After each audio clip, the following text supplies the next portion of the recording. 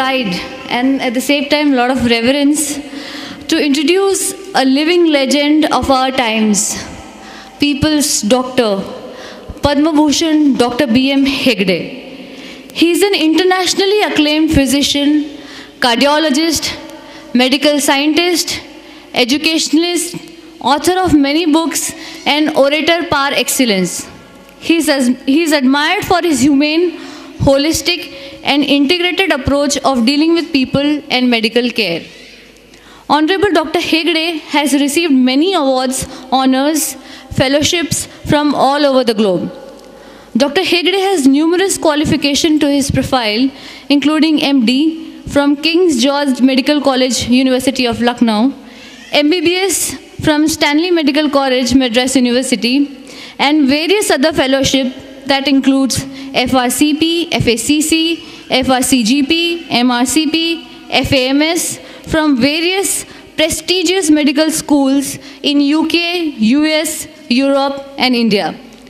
Dr. Hegde has been a teacher for more than five decades. A distinguished personality, he has many credentials that includes currently being editor-in-chief of the Journal of Science of Healing Outcomes, former visiting professor and affiliate professor to many medical schools in US, UK and India. He was former Vice Chancellor of Manipal University too. Dr. Hegde has been a deserving recipient of numerous national and international awards, including Padma Bhushan, Dr. B.C. Roy National Award, Dr. J.C. Bose Award for Life Science Research, Pride of India Award from the US, and honorary doctorates. He has served in various trusts and is widely respected for his philanthropic acts. Dr. Hegde doctorates Indian way of integrated healing system, including breathing techniques, yoga, Ayurveda, clubbed with other healing systems and methods. Please give me a big round of applause for Dr. B.M. Hegde. I now request Dr. Prabodh and Dr. Pradeep to felicitate Honorable Dr. Hegde on behalf of Prabodh Educational Trust with Certificate of Excellence for his distinctive contribution in the field of health and spirituality. Big round of applause.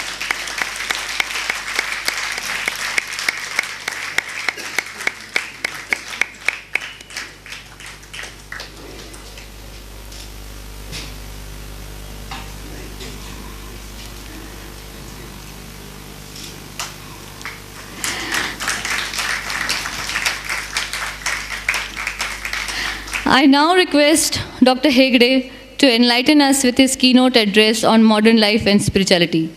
Please join me in welcoming Dr. Hegde.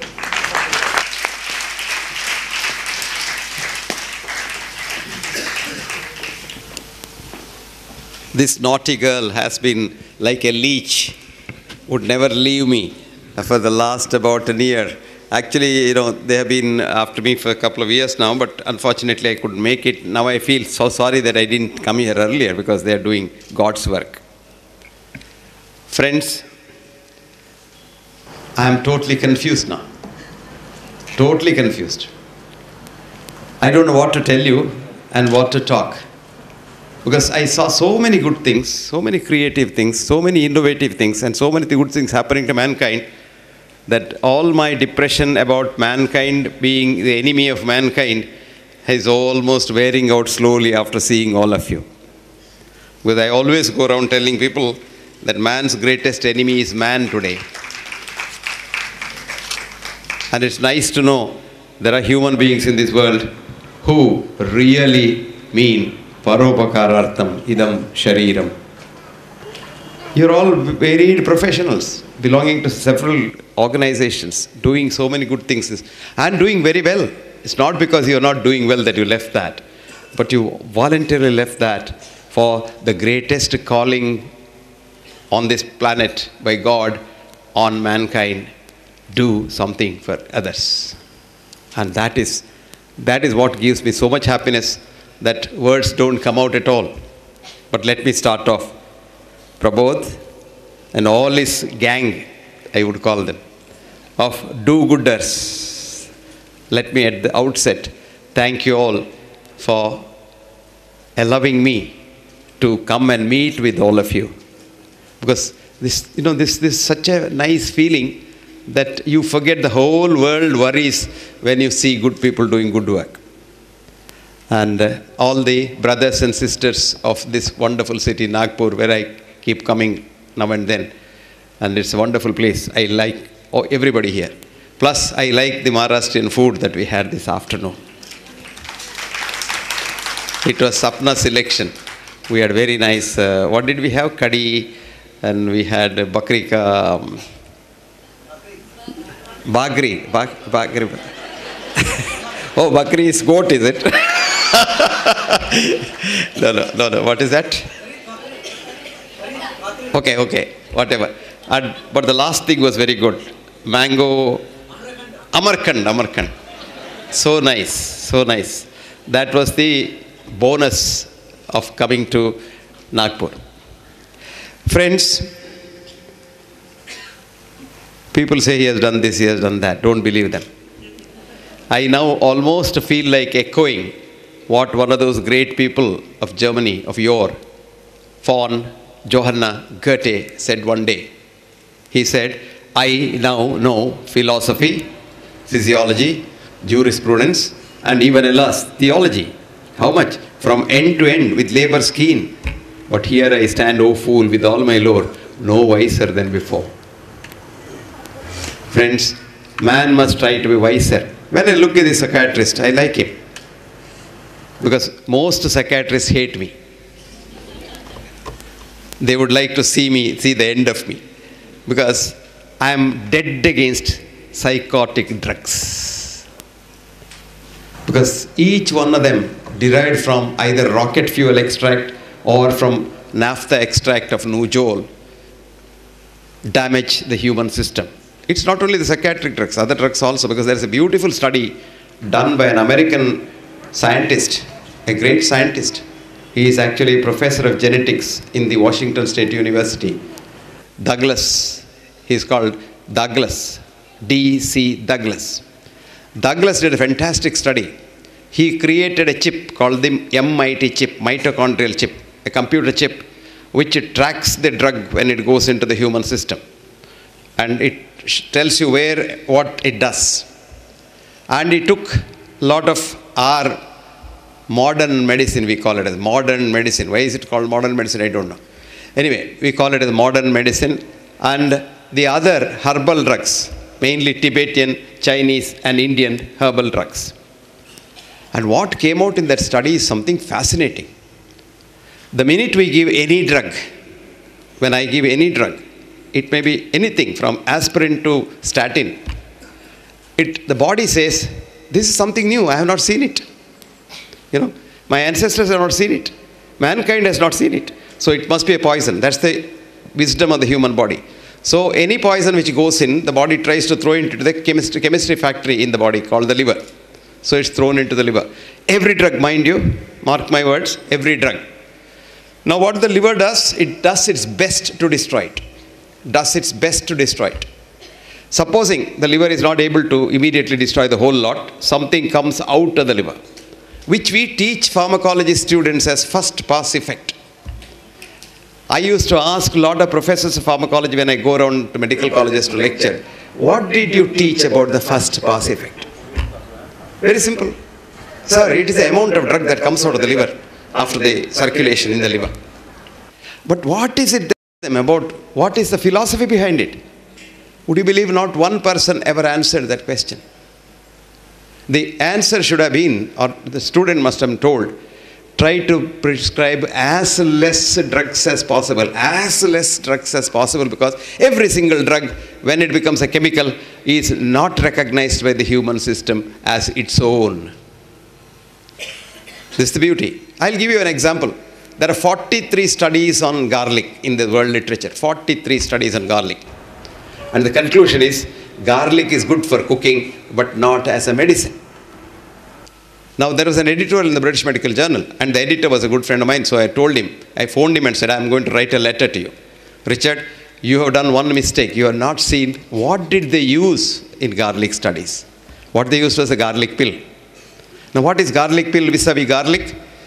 Anything that we give, we want it to be either nice to the body to, for taste or, you know, some obnoxious things you don't want. So, West, there have a lot of people who abhor the very smell of garlic. So, to sell drugs, what did they do? They removed the smelling part of garlic, which is called the SH group, the sulfhydryl group. The same chemical that gives good smell for your fart. The same thing. So, they removed that. I'm sorry for using unparliamentary words, but you know, uh, you want to tell the truth, you have to really drive the point home. So, this garlic pill is garlic minus SH group inside a plastic capsule which goes into the gut and there it delivers it. It's supposed to deliver it. By and large, most of the time, the garlic is eaten by the our friends in the in the toilet, whom you see on the television. See when that uh, what is that thing called? You spray it, and that they all come like that, and then suddenly you get that spray, and then say they all die. What's that spray called? I forget it. Harpic Excel. you go go back home and see there are, there are billions and billion trillions of germs in the in the toilet. So they are very happy because they get good garlic to eat. What happens to you? Nothing happens to you. Now, garlic to be effective in the human system, it must be eaten as garlic in nature, and that too in raw form, and that too put in the mouth, chewed, kept there for a minute or two when it burns you, because garlic has a medicine called alinine, but it is in the form of allicin in the garlic, and it mixes with the trypsin in the saliva to become alinine. Unless it that, it's no effect. Now, when we did that study, garlic is a fantastic medicine. Fantastic medicine. From killing germs, viruses, lowering your whatever you call, you know, you, people have an idea that cholesterol is bad, etc., etc. If you think it is bad, it will lower it. If it is good for you, it will increase it. Actually, now we know that old elderly ladies, you know, old elderly in English means above 85. Old elderly ladies who are still alive and healthy in the French nursing homes have on an average a cholesterol of 500 milligrams per cent to 900 milligrams per cent. Because in your body you have, how many cells do you have in the body? School going kids? 53 trillion, good. It's not bad. anyway, 50 to 100 trillion cells. That is 10 to the power 14. And that those cells die in billions every day because they have their time to die. They are told that is called apoptosis. Apoptosis in Greek means falling of a brown leaf. This word was coined by a botanist called Martin Raff, who was a professor of botany in the University College in London in the early part of the last century. And Martin gave the name apoptosis. That is a cell, when it's told, there's a, there's a gene called the suicidal gene. Gene tells the cell, like for example, a red cell, 120 days is life an RBC. At the end of the 120 days, it gets a message saying that, look, Mr. RBC, your time is up. So the RBC responds. The cell is intact. Apoptosis is intact cell. Becomes smaller, smaller, smaller, smaller, and becomes amorphic, loses its structure, form.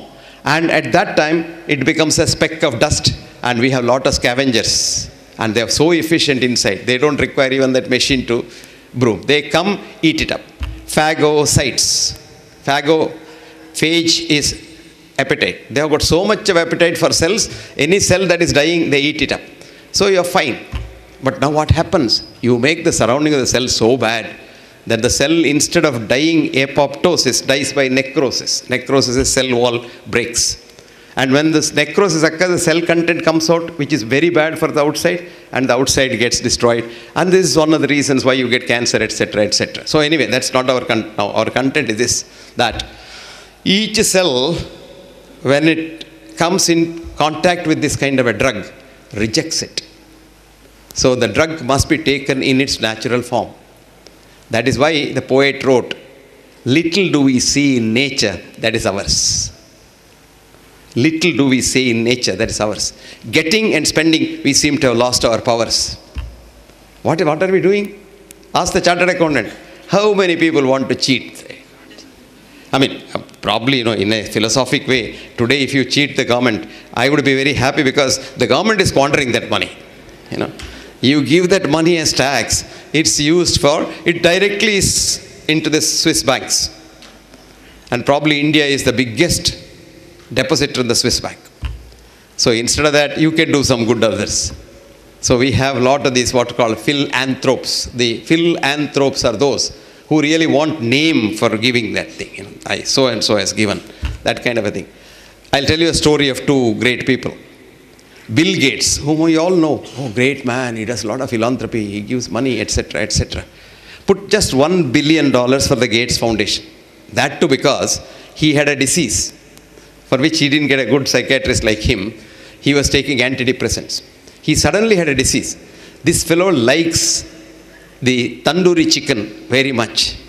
And he suddenly started hating tandoori chicken. Bill Gates could not eat tandoori chicken. And he almost hated tandoori chicken. So he hated food and started losing weight. And all the medical establishment in America, which he created because he owns three fourths of the drug companies and almost 100% of the vaccine companies. Now, all that couldn't help him. One day somebody told him, Look, why don't you do give something? You know, that's the essence of Indian philosophy. Tena, tyaktena, bunjitaha. Ishopanishad says, I should be saying that in front of Tripati ji. Tripati, he has the three Vedas he has found. Huh? So, what does it say? Tena, tyaktena, bunjitaha. Rejoice in giving. So, he was told to give. So, what did he do? He thought for a long time. Kitna dena? One billion, ek billion. For Bill Gates, why and one billion is like for me, one rupee. So he gave one rupee. And he made a big fuss about it, doing charity. What charity? He gives you money, but it comes back to his company. So after some years, there was a study done on Bill Gates' charity, which is published in the Lancet, a medical journal, which says what horrible man he is. If he gives one rupee, he gets back 10 rupees for his company. This man, see, there, there are people, there was another rich man who could buy Bill Gates. He didn't know that. His name is Warren Buffett. Buffett has, he's a chairman of 43 companies, but he doesn't have a single company meeting. When he selects a CEO for the company, he thinks for one month. When once he selects the CEO, the next he sees him or contacts him after one year with a letter.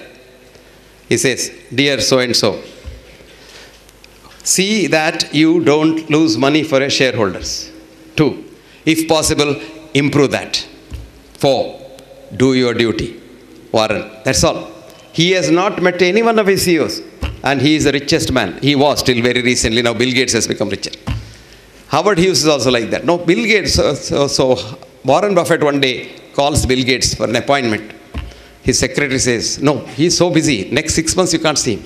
He says, "I just want two minutes. Just want to see his face." He said, "No, no, no. It's not possible. He's so busy." Then he says, "Can I walk, talk to him?" She says, "No, you can't talk to him." So the old man one day goes to his office, straight away goes to his office and walks into the office. And he says, somebody, he didn't know who he was. And he said, I just want one minute of your time, he said. Okay. Bill Gates was upset, but he said, okay, sit down. He said, I don't want to even sit down. I've just got a check. You are supposed to be doing a lot of charity. I want to give something to your charity, but don't put my name. Bill Gates gave 1 billion. This fellow gave a check for 37 billion.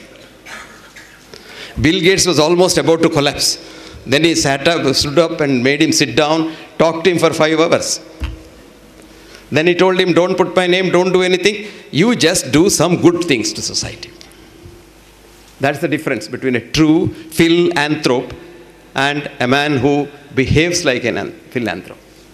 So that is how society runs. Now come back to our drugs. What happens? When once you take any drug in its natural form, the body immediately says, ah, this is mine. I know. My grandfather has eaten it. You know, it's like rice or it's like wheat. So it is immediately taken in. So the MIT study or the, the mitochondrial chip study showed that it is the body's intelligence and the energy that runs the system and not the drugs. And all that the modern drugs could do is ADR, adverse drug reactions. The biggest killer of mankind today is not a gun, it's not a plane falling down. You would be surprised in America alone, whose population is little over the population of probably uh, Nagpur. not, Nagpur. 300 million, around less than 300 million. Four jumbo jets full of people die every week due to drugs. If one jumbo jet falls down in this world, there will be news for two months in all the television 24 hours 7. And every week, four jumbo jets fall down. And these people unnecessarily die by what is called iatrogenesis, doctor induced illness, through our biggest weapons of mass destruction, about which I have written with the caption called Weapons of Mass Destruction in the British Medical Journal, the drugs, chemical drugs. So, friends, avoid as many chemical drugs as is possible. I had a colleague of mine, professor of psycho- psychology. Some of you might may have been, his name is K.B. Kumar, Professor Kumar, who was at one time the president of the Behavioral Society. He is now in Hyderabad. This boy was so good, I tell you, I took him as the professor. And within about two years, the psychiatry department was empty. No patient was going to the psychiatry department. This fellow had to sit till about 1 o'clock in the morning, 2 o'clock in the morning to finish his patient load. So the psychiatrist started complaining about him, writing memos about him. He is very bad, he is grabbing our patients. I said, nobody can grab a patient. If a patient wants to go somewhere, he goes. How can you say? So somehow or other they managed to keep him till I was there. The day I retired, they somehow maneuvered and see, threw, threw him out. Can you believe that? The best doctor was thrown out. Anyway, he got a better job. And he is, now the, you know, he is almost the king of whatever he surveys. And still the same humble soul. And that's why I like this psychiatrist. Psychiatrists have become real drug dispensing machines. Just because they have no patience. The minute he says, uh, you know, I had no sleep last two nights, then he says, did, did you, are you feeling fine? No, doctor, I, you know, I, no enthusiasm. Right, he'll start with an antidepressant. And when will that end? Great. This is the problem. This is the problem. So this is where a psychiatrist, a professor of psychiatry in America, she was young, energetic, and was like our friend. She wrote a book called Dementia, a drug-induced crime on mankind by doctors. And she published this book. Her name is Grace Elizabeth Jackson. She was thrown out of the medical college. She was in the Naval Medical College as the professor of psychiatry. She was thrown out of the Navy. She was thrown out of the medical college, thrown on the road. But this book is getting her millions of dollars, and she's, she's invited all over the world to lecture. And she her lecture fees is such that you know one lecture she can uh, 10, 10 months uh, salary comes in one lecture. So this girl is very happy. But what I'm saying is, this is the, how the world is. 1968, I wrote a small article called Unconventional Wisdom in Medicine. When did I write it? 1968. And my department sat together and said, This is a nut. He must be thrown out. So they proposed that I be dismissed. But anyway, that then dean probably was a nut himself, so he didn't dismiss me. So I survived by the skin of my teeth. This happens. This very much happens in this world. So it is very difficult to fight for a truth. I, I don't want to call it the truth because Khalil Gibran said, never say the truth. It's a truth. And it become different later on because truth is not something which is stationary. Truth changes. And a truth, even if you fight for a truth, it is difficult. So I like Prabodh and his gang. I can't be naming each one of you because it takes so much of time. Look at this boy, young boy. I like him. He is very, very good and very versatile too. Everyone, everyone. That girl, oh my God, she was very good, that ophthalmologist. And look at this girl, she's very good. Each one is so good, I tell you. They're so nice. And it has made my day coming here. It's made my day. I was telling uh, Ankit that, uh, you know, all that should not happen in a hotel room happened to me. It happened. But I was, I was enjoying each one of that. I was enjoying each one of that because I did some research. When I went to this room, there was no faucet in the toilet so to wash your bottom. I thought this must be the highest because even in the, in the, in the, in the uh, American seven star hotels, you don't have a faucet. So you will search for it. But at least they have a paper. you don't know about that? An American came to Madras and he was very fond of Madras curries.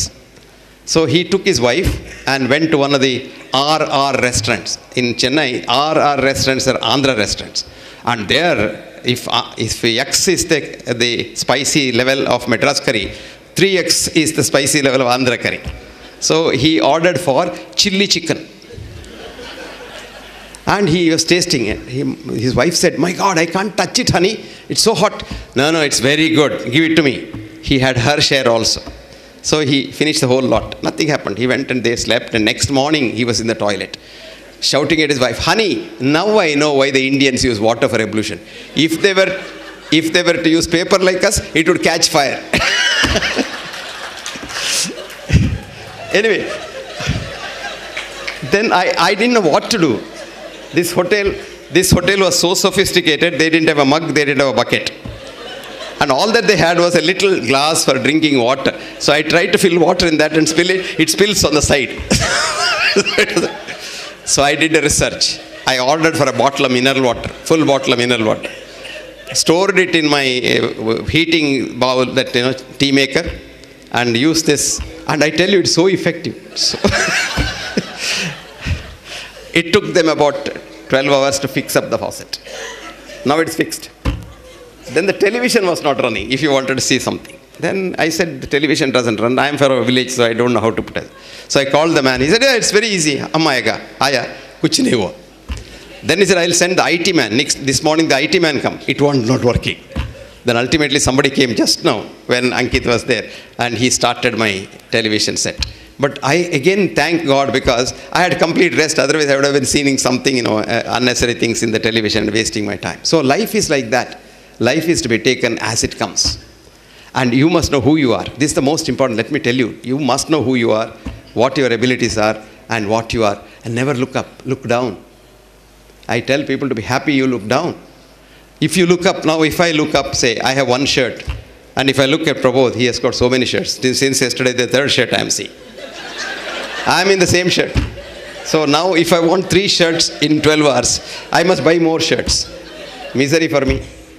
Now, instead, when I go out, I see that man on the road, he has no shirt at all. I am so happy. I have a good shirt, I have shirt, other shirts at home. I am so happy. So, you, to be happy, look down and don't look up because there's a nice saying in our language, gudda ke gudda adda. If you look at one hill, there is a bigger hill, there's a bigger hill, and there's a mountain. And the mountain, there is something else. So never look up, but look down. You're always happy, always happy. Because you are a lot. I saw, a, you know, these things doing rounds in the internet one day. He said, if you have 1,000 rupees in your pocket and 1 lakh of rupees in your bank balance, you are in the top 50, 100 people in this world or something like that. So th- that makes you so happy. Otherwise, you think, you know, who am I compared to this fellow Mukesh Ambani? He is presenting his wife a 437 crores small plane for birthday. Can you believe that? And this has a bathroom, a bedroom, a sitting room, a drawing room, and all kinds of things. And 127 crores, 100 uh, story house where you can't see. When Nelson Rockefeller had depression in 1952, because he made so much money, pulverized everybody in, in Texas, and made money from all other oil people, then he had a house, huge house, huge car. And then he was depressed. Depressed so much that he was not sleeping at all. Rolling in bed the whole night. Every, no psychiatrist could help him because he didn't come to Nagpur. So nobody could help him. So ultimately, what happened was one day he didn't sleep a wink. So he went to his lawyer the next day. The lawyer told him, Why don't you do some charity? That was in 1952, $500 million was big money. And he gave it as charity as Rockefeller Foundation. And Rockefeller improved and improved and improved, died at the age of 89. So it is in giving that you get. And that is the philosophy in life. You may say, Oh, I am not Rockefeller, I am not Ambani. How can I give? No. Can't you give one paisa from your one rupee? You don't lose nothing. Okay, you can't give that. Can't you give a smile? Because you may need a smile in the evening when, you, when you're tired. So give a smile whenever you meet. As uh, Sapna said that, in, you know, when you walk, the beauty of walking is not, some people say, I have money, I'll have a, what is that called? Treadmill. Like that. There also he has got that uh, computer inside calculating how many crores are coming and going and he's running. No use at all. Walking must be, the walking's benefit is not just the leg moving. It's the beauty of the thing. You are being one with nature. And you're a part of nature. You came from nature, going back to nature, you're only a part of nature. And that is the beauty of walking in the morning. In addition to the physical exercise you get anyway. That's what Ayurveda usually says. Samikshakari, work very hard. That's the exercise. If you work very, very hard, that exercise is enough to keep you going. And you will feel very, you know, I'll tell you an experiment you do. A day when you are very tired, go for a walk. Come back, you are so rejuvenated. You have forgotten your tiredness. However tired you are, go for a walk. Maybe in the evening, maybe in the afternoon, maybe any time. And there is no time as long as the weather is okay, you go for a walk. And a lot of our ladies worry about sun, our best friend in the world, the man who keeps us alive. If the sun takes a strike, one week strike, we'll be all dead. Why we? Even the plants will be dead. So it's the sun's electromagnetic energy that keeps you and me going. And sun is the best friend. But the industry has produced a myth with television interest saying that you will get skin cancer, you will become black, your color will go, and things like that. So you have so many things. Sunscreen, one of the important causes of skin cancer. Then all kinds of chemicals on the face, you know, you make up. You must see these people, American people who look so nice on the television. You see them in the house once. You will think it's some ghost of that person. So bad they look because the skin completely peels off. You go to Kerala and see those women at night, glowing face because they put coconut oil and they, they take bath, never wash the coconut oil. Have you seen a Kerala lady in Kerala at the back? She has got a half moon in her blouse. That is her uh, hair standing there with lot of coconut oil making an impression.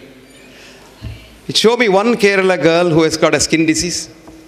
Because biggest germ killer in this world is coconut oil. Biggest germ killer. That's why in pickles you put coconut oil, you don't grow fungus in that. And you look at a Tamilian girl, no feet, you must see their feet.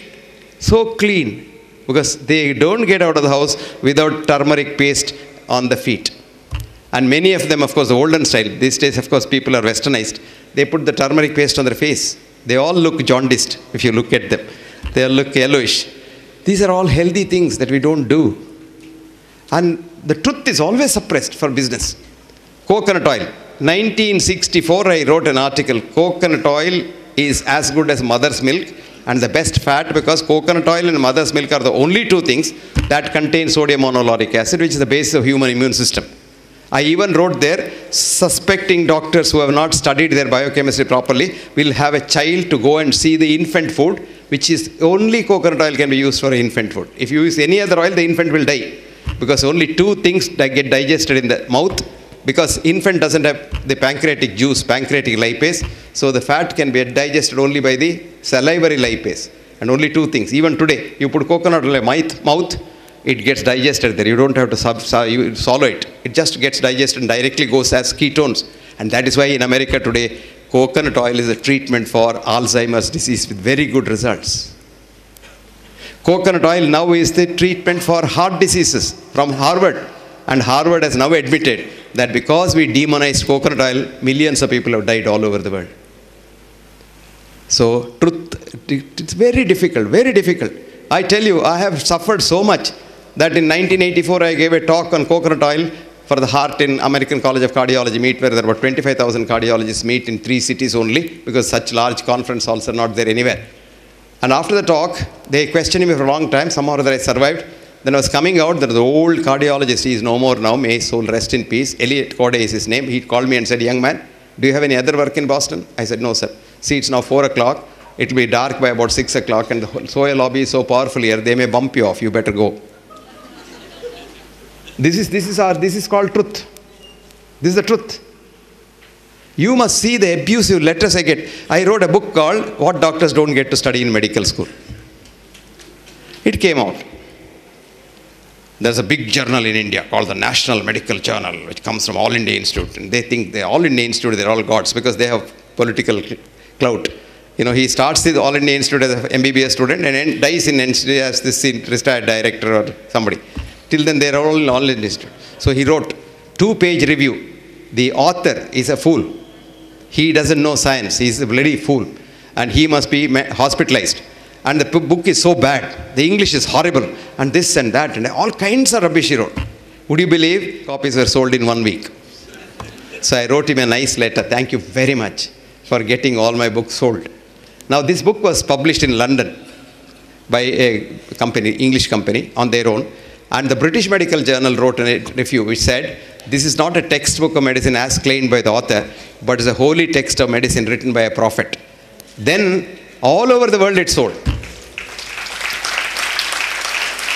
It is so difficult to tell the truth. So difficult to tell the truth because people don't want to accept truth because it is not for business. But I always tell people see, one day I was, I was called to give an oration in a Santom auditorium for 2,500 people, this is about 20 years ago, on one of those saints, Paramacharya in Kanchi. He was, he was alive at 106, Chandrasekhar Bharati. When he died, there's a trust which made it, and they wanted me to give an oration. And the topic they gave, the topic was quantum physics and Advaita philosophy. So I gave a speech, one hour. I was questioned for two hours. Madras audience is very, very intellectual. They all come there ready, prepared. And they gave a standing ovation. I went home. I was a vice chancellor in Manipal. I get a letter. Dear Professor B.M. Hegde, you are an idiot. First sentence, full stop. Shankara is a bigger idiot. Second sentence. Between the two of you, don't try to confuse the world. Next time you come to Chennai and talk about Shankara's philosophy, we will throw rotten eggs on your face. Sign so and so. I enjoyed the letter. You know, I, I have so nice letter. So I wrote him, dear Sri so and so, thank you very much for your loving letter and the sentiments expressed therein. You may think I am an idiot. It doesn't matter because I know what I am. So you think I am an idiot. It doesn't matter to me. But don't think Shankara is an idiot because you can't assess him. He's too big for you. Leave him alone next time when you're angry. Only blame me. And the, do you know what happened? This man's ego got punctured. He came all the way down to Manipal, touched my feet and said, I'm sorry, sir. I didn't understand.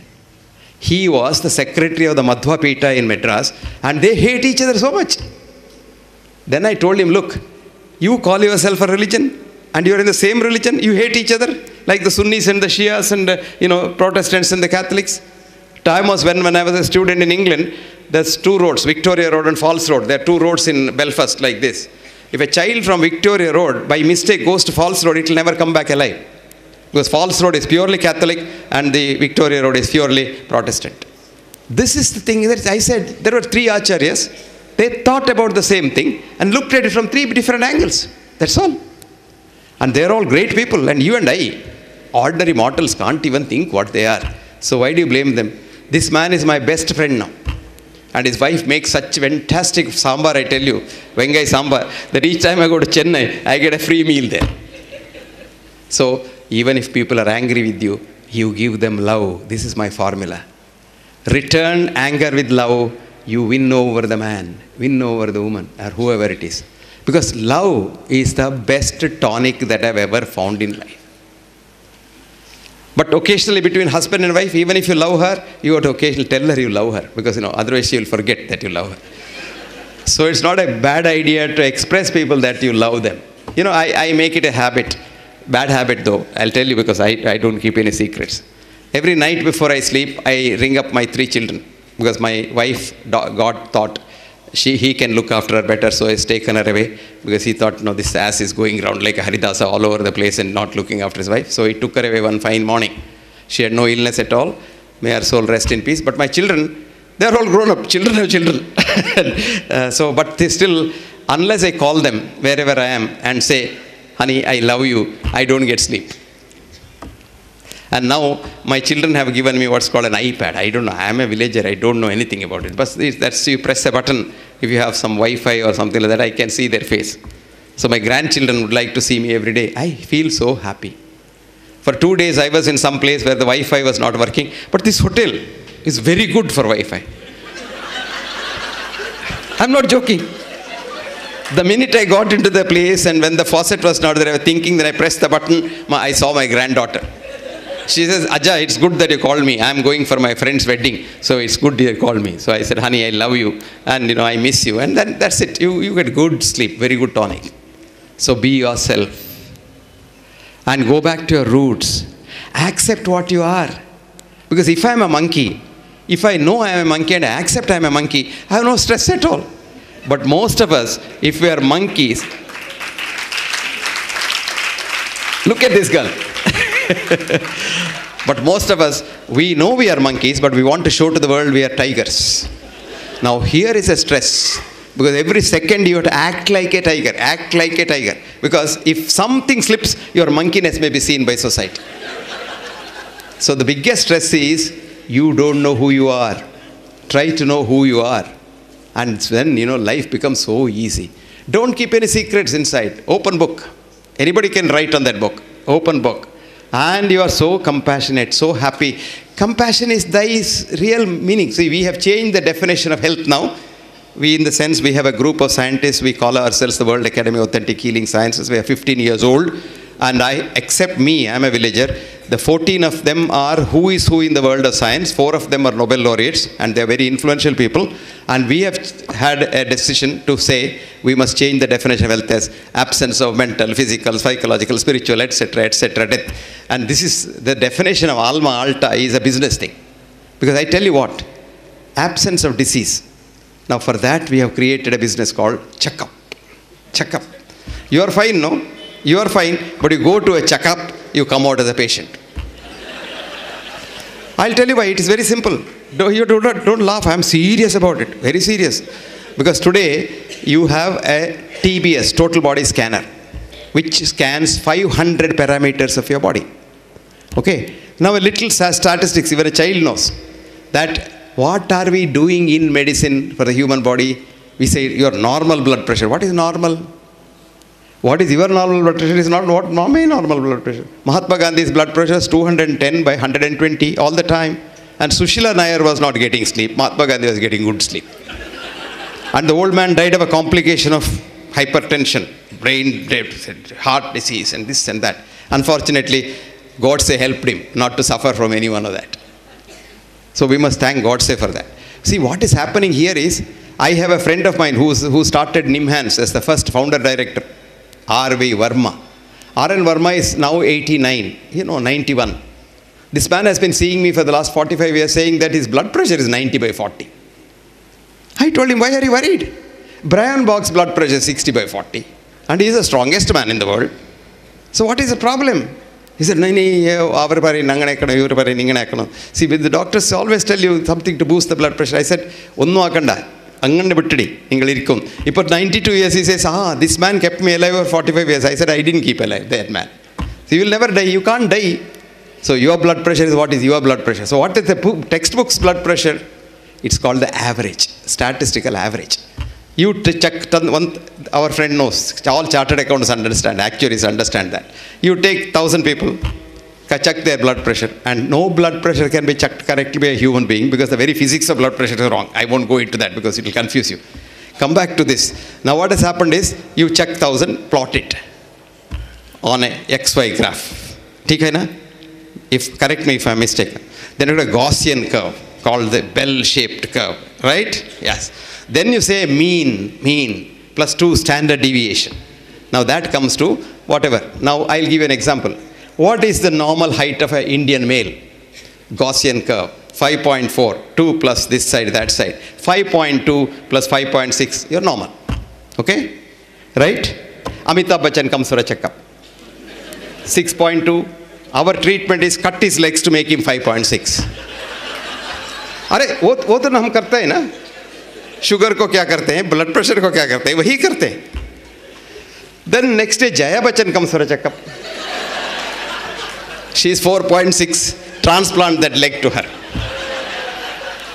Day in and day out, we doctors are doing this, trying to correct the statistical average, which we tell the common man as normal. So, average becomes a normal, there will be what are called false positives. For every parameter, the false positive is 5%, right, sir? Yes. Now, calculate, I'm telling you. When you check 500 parameters, what is the false positive? 2500. So, 100 people go for a checkup, 2500 patients come out. Isn't that a good business? So there was this professor of medicine in America. Her name is Leon Eisenberg. And this girl was 52 years old and she was a very brilliant professor. And she was worried about what she was teaching. One day she asked the brightest class boy who passed out, came to her. She said, Who is a patient? She asked. She was expecting a very esoteric answer. The boy very simply said, A man or a woman who sees a doctor becomes a patient. She had a shock of her life. She said, Then when does he become a man or a woman again? The student thought for a while and said, Rarely ever, madam, if ever. Full stop. This girl resigned her job as professor of medicine at the age of 52 because she said everything is wrong about medicine. And she sat the MCAT test. MCAT is CET, GET, whatever he has, and got a good grade. Joined the medical school. That medical school, a student again. Went through four years and came out and said, Everything that we teach is wrong. Did you get it? You haven't got it because it's not publicized. That article is suppressed. This is very interesting. The first article which studied diet and heart started in 1954, ended in 1959, spent $110 million of the taxpayers' money in America, and the study said diet has nothing to do with heart disease. But by 1959, the myth of fat has gone so much that we have started getting fat lowering drugs, cholestyramine. Have you seen that drug? You have to take eight tablespoons of that in the morning. It is like sand, and most patients used to vomit it. And that was the beginning of the cholesterol, too. The statin today 25 rupees a tablet you give, take it, it kills you. 10% of people who start, start statin, their blood sugar starts going up. 10% of statin use has become diabetic. So 11 million people take statins in India and 1 mil, 1.1 million diabetics are added every year. Then we proclaim on the other hand by the diabetic drug people, he said India is the capital of diabetes of the world. False. The truth is India is the best country to have diabetes because Americans are following Indian rice diet for diabetes. South Indian rice diet. Idlis in the morning, brown rice in the afternoon and brown rice in the evening and a little fruits here and there six times a day 8.30 10.30 12.30 3.30 6.30 9.30 small small small small feeds. And don't ever see wheat because wheat contains gluten. Gluten goes directly to the pancreas and maintains your diabetes. If you're a diabetic wheat maintains your diabetes. Good to know because we want diabetes to be maintained. This is called disease mongering if everybody is uh, not mad, how, what will this doctor do? He'll have to close his shop. See, this is, this, is, this is called taking medicine to the marketplace. What did Hippocrates say? Cure rarely, comma, comfort mostly, semicolon, console always. And what is consoling? What is consoling? Psychotherapy. So, Today, you people are not MDs and PhDs. You are the topmost doctors in the world. Because you are doing exactly what Socrates said, not Socrates, our friend, our father, Hippocrates said. But we are all hypocrites. He was Hippocrates. And we took an oath in his name and immediately became hypocrites. Today, medicine is the biggest industry in the world. Cholesterol lowering alone is $1.72 trillion business. One company which sells cholesterol drugs gets an on an average 15 to 18 billion dollars profit. A cardiac stent, which is like your spring of the ballpoint pen, costs $10 to manufacture. Sold for $2,000. And the budget is $500 doctor's hospitality. And a company gets a small profit of $1,490 per stent.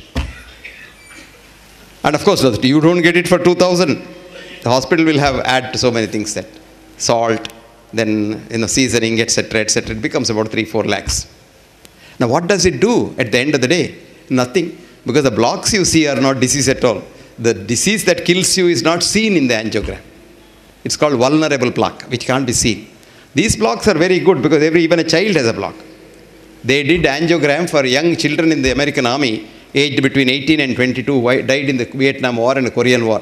They had four vessel blocks, three vessel blocks. They were very healthy because God has given enough. That's called remodeling the heart. It's preconditioning it. These people with the block get a heart attack, they won't die. But if one gets a heart attack without a block, he will drop down dead. So, but we frighten that. We tell them, do you know the sentence we use? You are sitting on a volcano. It might burst any minute. So the fellow says, uh, can he go home and come back? He has talked to his wife. I don't know. On your way back home also you may die. So you better do it now. Do you know why? If the Bakra goes out and talks to somebody, he may not come back. Now, chartered accountant will tell you a, a, cost of a cardiac catheter lab and surgery will be about 30 to 40 crores today.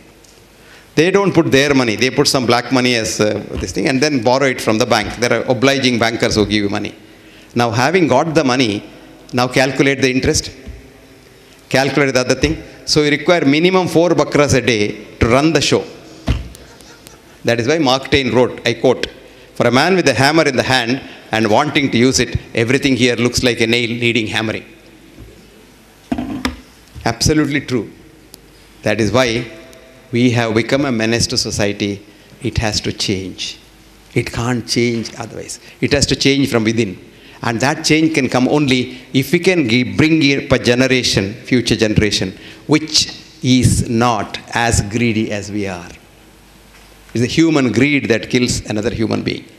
And if you don't have greed and if you don't have, as somebody rightly said, I think Sappan said, you have to ego, your ego, you have to sell it, is it?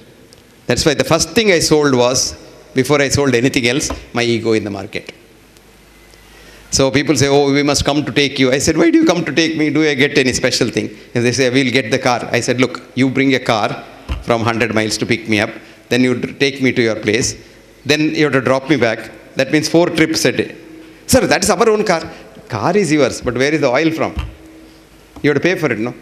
Now, what do I get if you come or if you don't come? I will take a taxi from here. My taxi company fellow is there. I'll come to your place, pay his taxi fare, and then I'll come back. So it saves at least two trips. They don't understand. People don't like it, sir. Chief guest, we have to bring him and all. I said, my driver brings me better than you. You know, I know him because I've been using that car for donkey's years and he is very safe. I can even sleep in that car. You don't bring a big car with a driver who is not known. I can't, every minute I have to be awake. People don't understand that. Because people want to be big, you know. I, people call me, you know, uh, our naughty girl, Poonam was calling me a VIP. I said, I am not a VIP, I am a VVIP, very, very insignificant person. But if you look at yourself, look at yourself. You are a colony of 100 trillion human beings. They are called human cells. And they are all you. And each cell has been living on its own. It has got its mind, it can eat, it can sleep, it can excrete, it can do everything. But for economic reasons, after these chartered accountants came, they said, no, why everybody do everything? We'll come together. So about 100 trillion of them joined together and made a colony called the human body. And you think your human body is solid? There's nothing solid about you. You are like the television screen. You know, I'm talking here. It's like Amitabh Bachchan talking on the television or uh, Hema Malini dancing. You put the television on, Hema Malini starts dancing. You put it off, Hema Malini is dead. But you go to the dining room and put it on, Hema Malini is born there. That's what exactly happens to the human cell. This was found out by a cell biologist called Bruce Lipton. Bruce Lipton. There's a beautiful book you must read called Biology of Belief. This is a fascinating book. This man was an atheist. He never believed in God. And he was a professor of anatomy in the Wisconsin Medical School. And he was a cell biologist. And he was studying not the dead cells like most anatomists study, which he calls as the tombstone of a cell. He was studying a live cell. And he was studying this live cell. And then he saw the cell is live, moves about, does everything. It excretes, it thinks, it can. You just put a drop of poison at one end of the petri dish, the cell runs away from the poison. You put a drop of some good food there, the cell runs into the food and eats it. Then he saw on the day you are made, you are the one cell. You're called zygote. Your weight is 0.1201 gram.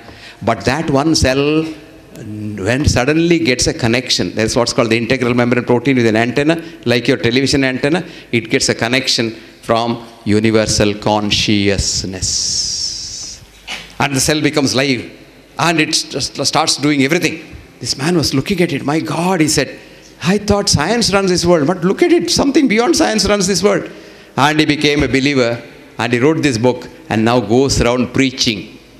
Like our friend uh, Sapna who left her ophthalmology and went around preaching, Bruce now goes around preaching like a preacher, people to have belief in God because it's God who runs the world. That's what's called the biology of belief. Somebody was talking about emotions.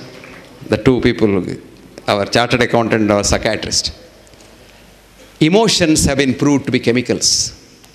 There is this girl called Candace Pert, a brilliant PhD student, who came to the palace America's NIH is called the palace, where all kings sit. Like, you know, here ICMR is a palace. And like that, they're all big people. They, I call them Sarkari scientists. And there are Sarkari intellectuals here who give opinion on everything under the sun, from sun to the moon. Everything they give. So this Sarkari scientist, the head was what's called Sol Snyder. Snyder is a big name, a Lasker Award winner and a big name. So this girl started a postdoc with Snyder, who had some money for finding out opiate receptors, which are known to be only in the brain, because we thought the brain mind, mind is only in the brain at that time. So he told her, find out if the opiate receptors are elsewhere. This girl took to it like fish taking to water. She worked very hard, day and night, day and night, day and night. But by the time the money was spent, there was nothing left. And still she has not got the receptor. So Sol called her, don't, I don't want to waste my money on you. This is over. You go and do, do something. I don't want you as a postdoc. But this girl said, I'm going to find it one day. Something inside her saying, I'm going to find it one day. So she told him, I don't want money, sir, but I'll continue in this lab. He said, for a change, okay, continue in the lab. Six months later, she found out an opiate receptor in the muscle, opiate receptor in the blood vessel. And she was so excited.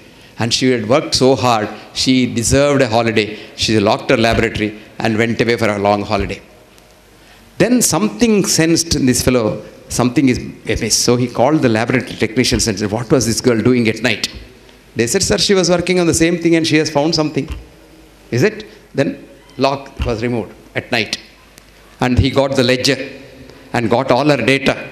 And before she came back from the holiday, he published the data in a paper and he was so influential that he went to Swiss Academy and said, This is the thing I have found. And they said, Okay, you will get the Nobel Prize. So Nobel Prize was declared in his name, but was not given because the date had not come. When this girl Candace came back, she was so fuming because he said, This fellow who destroyed my career now wants to steal my data. Very bold girl. So she went directly to Geneva and Zurich and then talked to all the members and said, This is my work. This is my original data. This fellow has photostated it. This is not his journal. And of course, Sol did not get his Nobel Prize. Candace lost her job. Candace lost her uh, standing in community, thrown out. Candace wrote a book, Molecules of Emotion. Beautiful book. Molecules of Emotion. Please get that book and read it. Candace, C-A-N-D-A-C-E, P-E-R-T is her name, and read that book. And there's a beautiful sentence I'll tell you. Time will come when you get a headache, you don't look for a pill, instead sit in one place and elevate your consciousness to the level where your own brain produces enough opioids to kill your pain. Full stop. What a beautiful thing. And that is the future of medicine, my dear friends. But we have to take it out, de-link it from money. Unless you de-link medicine from money, this medicine will kill mankind. I don't know how many of you read this beautiful article. If you have not, read it in the Google free. It's called Death by Medicine. There are five authors. The first author's name is Gary Null, G A R Y N U L L. Please read that. You will get a shock of your life that we are the leaders of death in the world, followed by cancer low down and heart attack much lower down. On the top of the list, in a country where we think there are so much checks and balances, if it could happen, you horrified, you take the audit in India, my God, you will be shocked. That is why we went to the IOM, convinced them that the future of health definition should not have absence of disease because there is nobody who has no disease. If I now scan all of you with the TBS, all of us will have not one cancer, 10 to 15 cancers. But they don't become cancers, they all die. When do they die? When you have a good mind and when you want to help someone, cancer cannot grow in you. But when you eat a lot, like a pig, and hate everyone, cancers grow like a tree. And that's what happens. And it's in the mind. Everything is in the mind. And where is the mind? Never mind. And the mind is everywhere. It's in my hand. And who is the mind? For every nine cells of germs in my body, I have one cell of mine. In your body, for every single cell of yours, you have nine germ cells. In your own genome, we are saying we are human genome, we know everything, we do genetic engineering, we'll do uh, stem cell. We don't even know one by one a millionth of a genome because genome contains 23,000 human genes and two and a half trillion germ genes. Germinomes, metabolomes, virinomes, all of them put together, the metagenome is all germs. And I have written an article, you read that, a simple article called Germs Are Us. Toys Are Us, you have seen, you know. So I wrote Germs Are Us. We are germs. So when I say, Did your father have diabetes? Yes, sir. Oh, then you become a diabetic. With fear itself, the sugar will go up. Your father's diabetes has nothing to do with you. Because your father and you, the relationship is one in a million zeros, one. But you may be a diabetic if the germs is a diabetic. So you are a germs child. And these germs are our friends. We have come one full circle from Pasteur. Louis Pasteur said, germs kill. And then they say, germ theory was born, and that's why mankind is alive. It was a great day for medicine, and antibiotics were an. Today it's a very sad day for medicine because there are 500 antibiotic molecules. They cannot even touch some of the germs which have grown in the hospital called superbugs. And do you know how we kill it? When Morarji Desai used to drink his own urine, we used to laugh at him. Did you laugh? You also must have laughed. Because most of us are RNIs, you know RNI, resident non-Indians. Most of us live here, think with American mind. Now, America, do you know what they're doing? Because patients are dying like flies in the intensive care unit with nosocomial infections. One Professor Chu in Johns Hopkins Hospital, she went into veterinary science. In the veterinary science, for hundreds of years, infections were treated not by the present vets who use antibiotics. In the olden days, vets, cow's infection was used by cow dung. This girl did a bold thing. The patient was dying of a simple Clostridium difficile infection and otherwise the patient was very healthy. So she gave the shit of her patient's own mother 250 shit emulsified, put it in a tube and put it in the mouth. By evening the patient became all right. Now for severe infection the treatment is in American German fecal transplant. Fecal transplant. Morarji Desai was drinking urine. Today it's fecal transplant. Now America says human urine has so much of kallikreins and so much of immune boosters that it could be treatment. And cow's urine is now patented for treatment as an immune booster. One day I was with the central minister. This fellow was used to be my patient. So he one day told me, Professor Hegde, shall I tell you a secret? I said, go ahead. You can tell it to the world. I don't care, he said. I said, okay he was admitted with what is called ulcerative colitis. You must have heard of it, which, means we don't know anything about it. It's called idiopathic disease. We are very happy about this disease. Idiopathic means I am an idiot. But that idiopathic is in Latin and I am an idiot in simple English. I am an idiot, I don't know. And he was having 20 loose motions of blood every day and lost about 20 kilograms. And he was admitted in intensive care unit in the, uh, the All India Institute. One day, Morarji Desai, his prime minister, came to see him. He told him, You bloody fool, on the first day itself I told you to drink your urine, you forgot. Now, anyway, you are dying, drink your urine, he said. And he says the next morning he drank because he wanted to survive. One day drinking, 20 became 18. Two day drinking, cut short, 10 days drinking, he went home. And he is alive now because somebody has now removed a part of his brain intentional to make him a vegetable, but he is still alive. He is about 76, 77, 78. I have another chief minister friend of mine one day he told me, Professor Hegde, do you know your friend? So and so, yes. He was our party chief. And I had an eczema. My father was a doctor. I'm, I'm an engineer. But this eczema will not go. I was looking so ugly, I couldn't face the world. One day, your friend, that minister, told me, hey, drink your urine. I tell you, I faithfully do that even today. I have no disease at all. I'm so fine. Both these ministers saying, we'll give you money, you do a research. But I have done my research already because I have a lot of volunteers, don't worry. And we have shown how important it is. I had a patient recently who had a heart attack and he came to me. He survived somehow or other. Not because of me, they all survived because of themselves. Now, this man had ulcerative colitis. So his gastroenterologist gave him sulfapirazine, and next day he had Stevens-Johnson syndrome. He was almost dying, kidney failure, whole body was bloated with skin and heart failure came, and he became really bad. So his wife was crying, Doctor, heart attack, you saved him, but with this simple diarrhea, he is dying.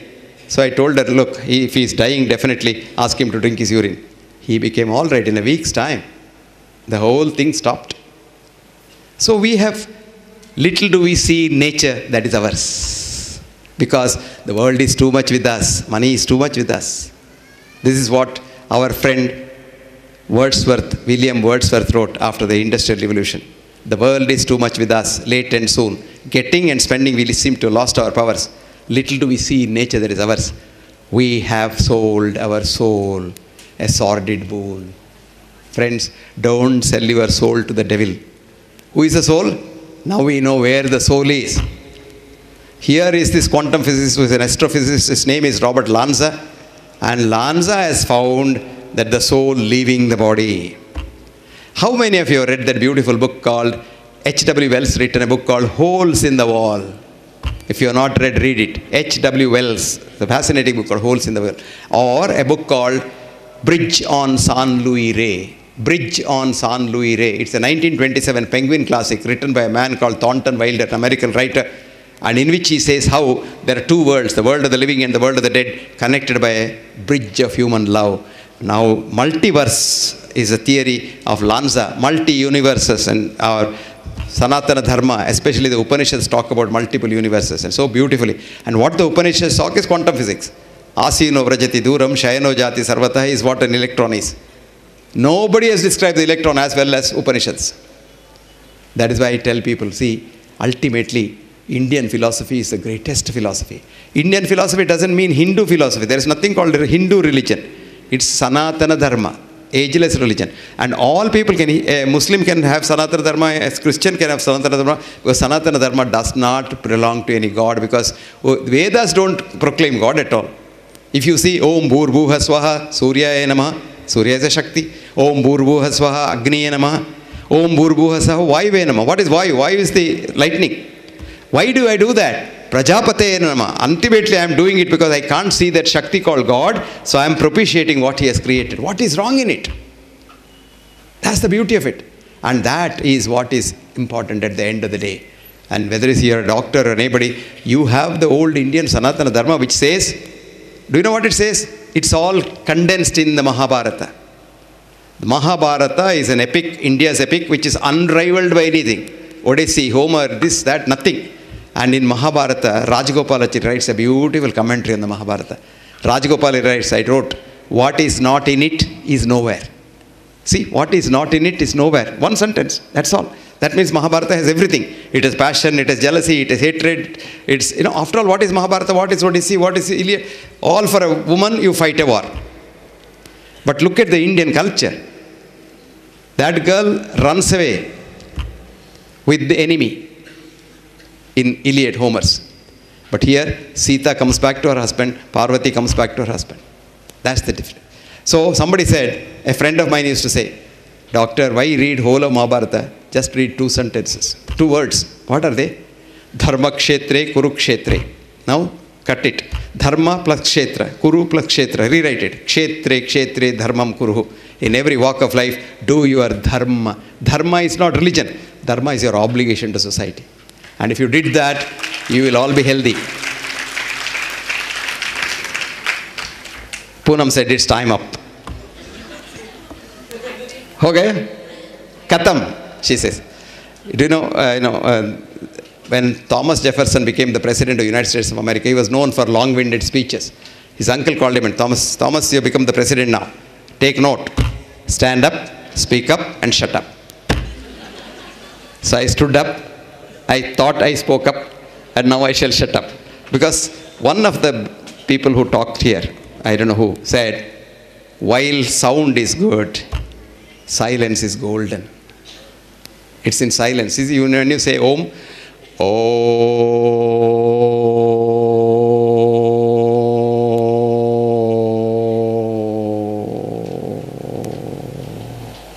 It is that silence which probably reaches the other end. And you really get happiness at that stage. So I don't think I should go on and on. And I know what you will all say when you go home. Why did Pramod call this idiot? You know? Because, you know, there was a parish priest, a friend of mine, who was going from place to place lecturing. One day he was to lecture in Nagpur. And he was staying in a hotel. Not this hotel, because there's no faucet. that, that being a Sunday and there was no eh, television, etc., he wrote a nice letter to his wife because he had left home and going around the world. And he wanted to post it. He came out, being a Sunday, he didn't know where the post office is. So there were urchins playing. He told them he, they didn't understand their uh, language. So he said, Can you take me to the post office? They said, Come along. It's a holiday for us. We'll take you to the post office. They took him to the post office. He posted the letter. He was coming back. Then, being a priest, he said, My God, these children have done something for me. I'm a spiritual human being, so I must do something in return. So he said, I'll buy some chocolates for them. Went to the shop and said, Come on, give chocolates. The man gave chocolates. He put his hand in. The wallet was in the Ashok Hotel. So he said, My God, what can I do? So he told the children, Sorry, children, I forgot my wallet. But in this evening's lecture, it's, it was uh, arranged by Prabodh Charitable Trust, but it's not charity. This lecture of mine is money. You have to pay 100 rupees per lecture. Yes. I will give a note to Prabodh or Poonam. You take it and they will let you in free. So for showing me the post office, you have two free tickets. Children laughed. He said, Why? Sir, there are a lot of uh, fellows like B.M. Hegde speaking, but listening is very difficult, sir. Who wants to listen? We have better things to do in the evening on a Sunday. But he said, No, no, I am talking on a very important thing because I am a priest. I am talking about spirituality. I am talking about God. I am talking about way to heaven. And he became emotional. Children burst out laughing. He said, Why? Sir, a man who doesn't know the way to the post office, how could he know way to heaven? so, my dear friends, spirituality is nothing very esoteric. we are all spirits, not spirits, but spirit. Spirits is what is available in the shop. Spirit comes from the word spirus in Latin, which is breath. So, our ancestors, cave dwellers, knew one thing an animal which they killed for eating did not breathe. A live animal breathed. So, they hypothesized, just as we do an hypothesis, breath is a God who enters you and leaves you when you die. Which, of course, is not true, but then that is how the word spirituality was developed from that. Spirituality has nothing to do with religion. Absolutely nothing to do with religion. Spirituality simply is dealing with the spirit. That's a human being. And how do you deal with the human being? Because why do you deal with another human being? Because he is a part of you. Today, the greatest quantum physicist Max Planck says consciousness is fundamental. Everything else is derived from that. So you are derived from the consciousness, I am derived from the consciousness, from the same consciousness. Supposing I want to hurt, hurt our chartered accountant, it hurts a part of my body. So I want to destroy him, my body gets destroyed by my own cells. That's called autoimmune disease. Me, you concept. Leave that me business, I business. Make it we business. And the day you leave the I and you become a we, you are fine. A Shishya went to a guru. He said, Sir, I have come here. I want peace. I want peace. He was fighting. And the Guru said, Say that again. I want peace. He said, Okay, say that without the I. Want peace. Want peace. Now, without the want, peace. See, there is peace. What is preventing peace? Want and then I. So, let us leave I and want and live in this world as we. Thank you very much.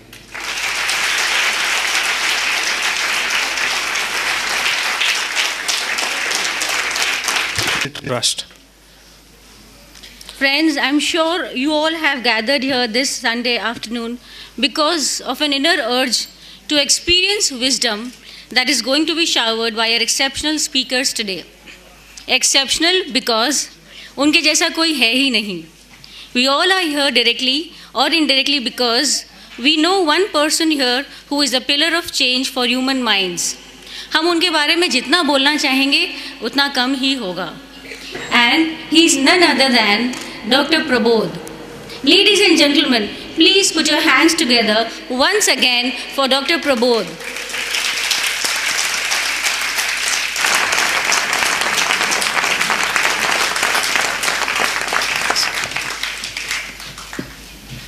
Sir, if you can have, yes. It gives me immense pleasure to introduce Dr. Prabodh.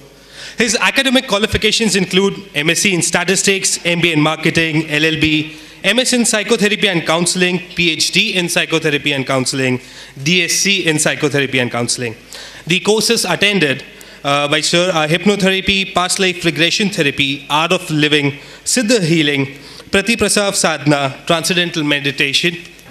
He is practicing psychotherapist and counseling consultant counselor to RBI and advisor, and consultant to social and academic institutions.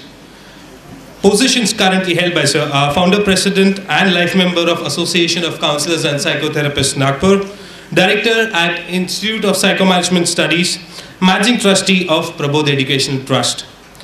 And more than anything else, a friend, philosopher, and guide to all those who associate with him. One thing I have personally learned from Sir, and I like to put in a few words ये राह ही ले जाएँगी हमें मंजिल तक। हौसला रख, ए मुसाफिर। ये राह ही ले जाएँगी हमें मंजिल तक। हौसला रख, ए मुसाफिर। कभी सुना है कि अंधेरों ने सवेरा होने ना दिया हो? Requesting doctor Pramod to come on stage and share a few words with us my very close friend who became my friend less than 24 hours now, Padma Bhushan, Dr. B.M. Hegde. Because it seems uh, friendship doesn't need amount of years and time to spend together. It happens instantly, which has, which I have been experiencing since yesterday evening. The guests of honor, Mr. Prakash Khemka, Mr. Sudhir Baheti, Mr. Aditya Tripathi, today's expert panel who have contributed their experience and wisdom in the earlier session, advisors for the Prabodh Educational Trust, organizing committee, and uh, a very generic word, all my dear friends. I am so happy to be here. It is so overwhelming to talk to you on these annual day functions because I have so much to say. And it always seems that there is so less time given to me. Because of the paucity of time, perhaps I'll have to restrict myself for 10 minutes, but I must speak my mind on this occasion. So let me really put the words to my feelings. Friends, I really feel nice, uh, so comfortable to be with you, uh, you being the part of uh, trust family, Prabodh Educational Trust family. And on this occasion, always I look back and then plan to look ahead. Looking back, uh, I remember when I took up something in the educational field after giving up the public sector job. That time my observation was uh, I need to do something in education because because I thought education is corrupting, ruining, disturbing, alienating, rest, uh, hindering the process of growth and evolution. I might sound absurd. I might sound obnoxious. But this is what was my feeling about the educational system which is prevalent right now. And even today, I see a lot of souls to be saved from the present education system. So, my strategy to overcome or contribute uh, in the educational field was to collect the people, collect those people who are different, and collect those people who want to make difference. And friends, I am so proud to say that I have not one, many of them, whom I have collected over those 13 years of time. And after having collected those people, the second strategical aspect of it was to connect them. And this annual day celebration is precisely to see that how closely we are connected. And if I thought I could collect and connect those people who have difference and ability to make difference, perhaps then I can think of correcting the system. And today, to bless us on this occasion of giving insights to correct this system, we have none other than Padma Bhushan Dr. B.M. Hegde. It is such a blessing to have such great souls to be with us. And friends, I share you one thing, which is my personal experience. You are not to talk, you are not to argue, you are not to debate, you are not to discuss. Just being with some souls is so enlightening, so delightful, so much at, uh, so much experiential. You learn a lot by their presence. I believe energy transfers so quickly. Something happens. And I think what we are doing is letting the things happen. Doing is like becoming, and letting the things happen is like being. Today, we must not forget the day is auspicious because it is Swami Vivekananda's day. It is his birthday today. And what he has said some 150 years back was each soul is potentially divine. And somebody like Arvind Kejriwal also would say the same thing don't underestimate the power of a common man. Oh, yes. I think both of them are saying the same thing. The common man, and he has immense potential, is what is being talked about. And Swamiji said something 150 years back The same thing. Each soul is potentially divine. And on this occasion, I only believe that we could reinforce this belief that we are divine and we have a tremendous power. Don't misuse, um, abuse the word common man. Common man is such a big word. And I believe this, uh, this is a purpose of uh, our coming together. And how did I start uh, this journey? I thought maybe I would concentrate on the next generation. I thought catch them young would be the better strategy. So I started with Prabodh Academy, dealing with the student stress, working on their memory, concentration, and how to write examination. I thought that is a better way of uh, influencing the parents also, though, so they can pay me money and also uh, keep my things moving. And also at the same time, I can make a small difference into the, into the field of correcting the education system. But then I, I, I found that uh, telling, advising children was not sufficient because whatever I tell the children, ultimately those are the buyers who influence the decisions. Consumer consumes and the buyers influence. And those who pay money for the children's education have a bigger say on the children's mind than those who work on with them. I thought maybe I'll have to have additional strategy to really deal with those other lot who are influencing and buyer in this uh, marketing scenario. So I started uh, spreading uh, the knowledge of counseling and psychotherapy and to really legalize and legitimize it, I started courses in counseling and psychotherapy. Running an institute is not my, my, my field. It is not my cup of tea but really trying and desire to work on correcting the system, I thought I'll have to do something, really spread knowledge, talk to the parents, talk to the teachers, see how I can, or uh, we collectively can. By that time, I had a lot of friends who were uh, really working with me with the same mission and purpose. So we started this Institute of Psychomanagement Studies and the courses was just to really lure because when, when somebody pays the money no, for learning he also needs the evidence that he has learned something so the diploma and degree is just a paper evidence to say that the person has acquired knowledge. And at times we are more concerned with the evidence of the knowledge than the content of the knowledge and the real knowledge which needs to be uh, carried away, carried with.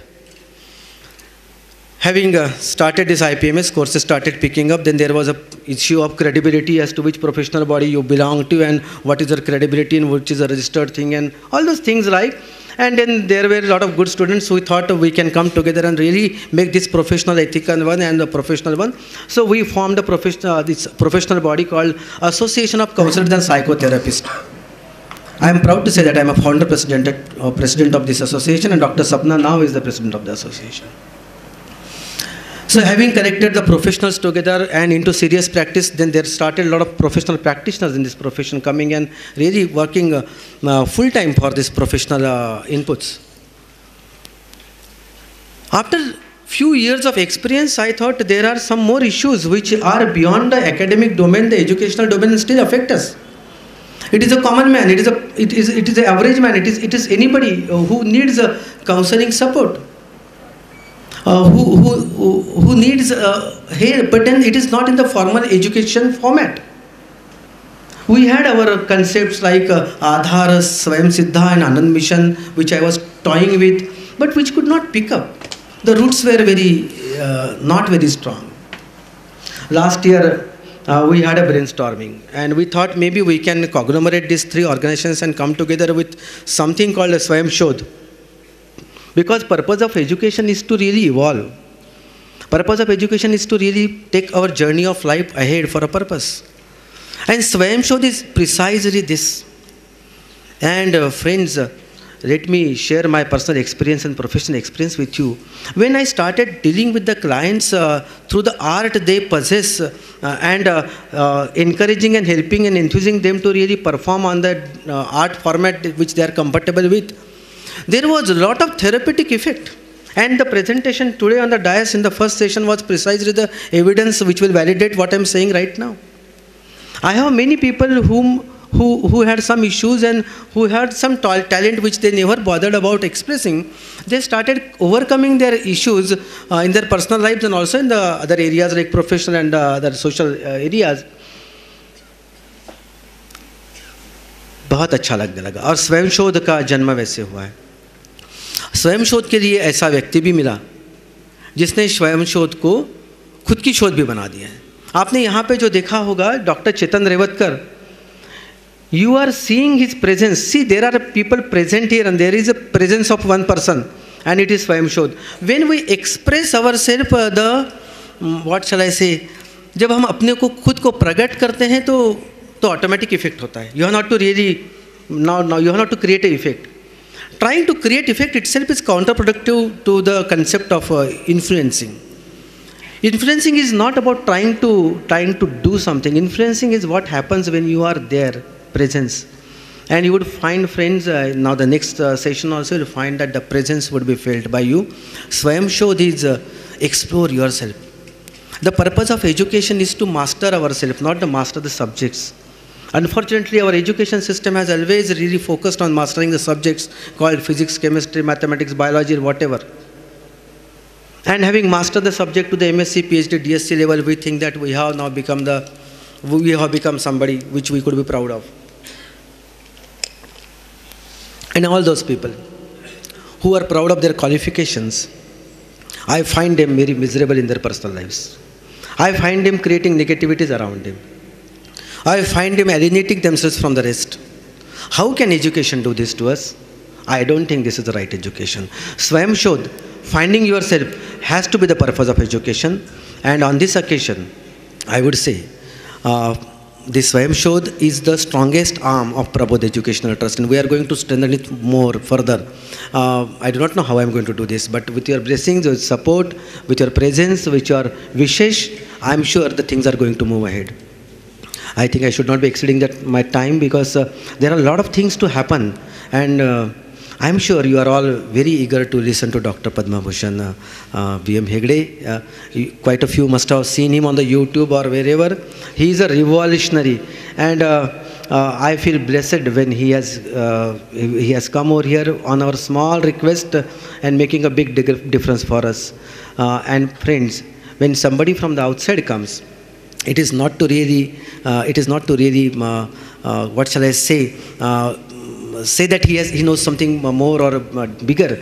It is just to say that we are all connected uh, interdependent interrelated interconnected and all those things. And in, in his presence i want i want to honor a few of our own friends colleagues achievers who did something great. On this occasion it has to be celebration. How do we celebrate we have to honor we have to felicitate we have to create a, uh, and then the people whom we create uh, uh, felicitate and appreciate should they be uh, should they be from the uh, different uh, group no i, I think i think uh, हमारे लोगों का सत्कार हमने खुद करना चाहिए आज हम अपने लोगों का अपनों के सामने अपनों के हाथ से सत्कार करना चाहते हैं जिन्होंने समाज में अपने अपने क्षेत्र में कुछ बड़ा काम किया है यहाँ के गेस्ट ऑफ़ ऑनर तीन जो हैं, उन्होंने अपने अपने क्षेत्रों में बहुत बड़ा योगदान दिया है। कुछ अलग कर रहे हैं। और उन्होंने अलग किया, ये तो हम आज एक सिम्बॉलिकली कह रहे हैं। हर व्यक्ति हम में से, हमने जैसे कहा, आम आदमी common man each soul potential divine वैसे इनकी डिविनिटी एक्सप्रेस हो गई है। बाकी लोगों की भी एक्सप्रेस हो रही है अगले साल, आने वाले वर्षों में। मुझे पता, विश्वास है कि बाकी लोगों का भी हम ऐसे ही कुछ सम्मान होगा, होते रहेगा। वैसे ही हमारे साथ और एक व्यक्ति है जिन्होंने काउंसलिंग क्षेत्र में बहुत बड़ा कार्य किया है। हमने इस साल समुपदेशक शिरोमणि नाम का एक अवार्ड एक पारितोषिक, एक एक साइटेशन हम इस बार प्रनाउंस करने जाने वाले हैं। That is going to come what shall I say right now I am speechless I am world I don't have words to express my gratitude my thanks my overwhelmed heart. I don't know what to speak. Thank you so much, friend. Listen to, listening to me. I, I'm sure I am today very uh, not very coherent, but still, when you are emotional, you need not be coherent. You need not be logical. I am not that rational. I know, but then emotionality binds us. I know you all love me. I love you all. Thank you so much.